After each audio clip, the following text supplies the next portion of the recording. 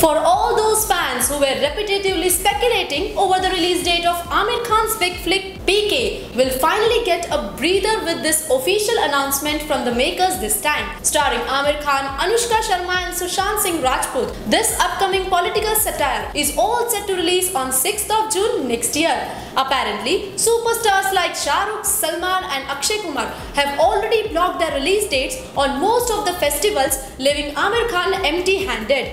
But well, no matter on what day the movie would release, it's our Mr. Perfectionist film and is surely going to make it to the blockbuster league. What say viewers? This is Nishi Patani for Moviez Adda.